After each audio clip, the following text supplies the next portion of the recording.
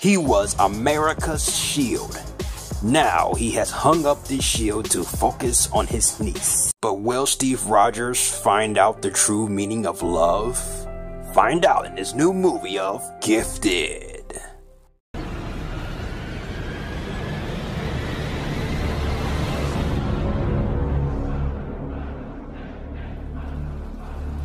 Gifted is a new movie directed by Marc Webb and it stars Chris Evans, McKenna Grace, and Lindsay Duncan, Jenny Slate, and Octavia Spencer. And this movie is about a girl who has exceptional skills. She's a master of arithmetic. A seven-year-old girl, a master of arithmetic. She can solve math equations, math problems. She's really good solving why Brittany didn't respond to my text message. So she's really good of doing all these things. And pretty much this whole entire movie revolves around a custody battle between Frank and his mother. And me personally, I was skeptical going to this film because I never heard of this movie. I did not know if this movie was gifted enough for me to watch. I walked in the movie, I watched this movie, and actually I came out satisfied. This movie was very good. Chris Evans had a great performance outside of Captain America because I was he's he's Captain America. That's the only thing we only thing I see Chris Evans in. I mean, he was in Snowpiercer, but for this movie, I'm only thinking to myself as,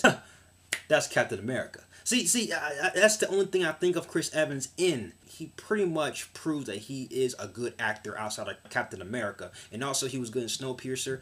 And he plays a guy named Frank. And Frank is a guy who, who wants the best for his niece. He wants her to have a life. He wants her to have a social life, be social with the other kids, and be a kid.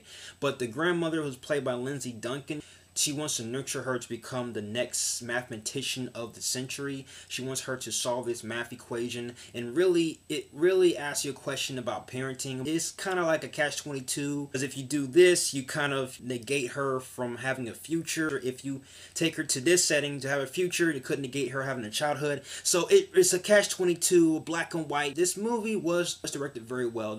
Every character had good chemistry. Chris Evans had chemistry with his niece, who was played by McKenna Grace.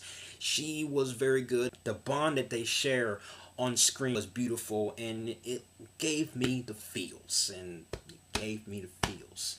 Gave me the feels and I don't like having feels and it's really hard to get make me have feels in the movie but it gave me the feels and it was pleasant. So small particular flaws with this movie. There was a relationship between Frank and Bonnie, Chris Evans' character and Jenny Slate's character and I felt like that was unnecessary knowing that this focuses on the little girl. They just they could have just left that out. My main peeve has to do with the ending. Now i don't want to spoil it but the ending was too convenient for the plot. Logically and realistically does not make sense. The ending was pleasant. I love the ending. I was happy. I was satisfied. But then that moment where you have to question what's realistic and what's logic.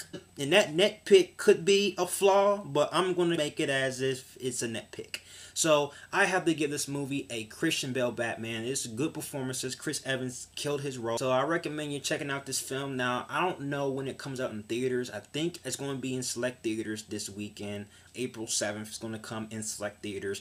I don't know when it's going to come out worldwide. But when it does, please check your theater and see this movie is there. Definitely check this film out. It is definitely worth to watch. That's my review for Gifted, and this movie is gifted enough for you to spend $10 to watch. Alright guys, that's my review. If you like everything you see and you agree, click right here, join me and the Batman family, and check out my review for Legion. It's a really good show, and just hear my spellbinding thoughts of the of the show. You have been warned. Till then, ciao.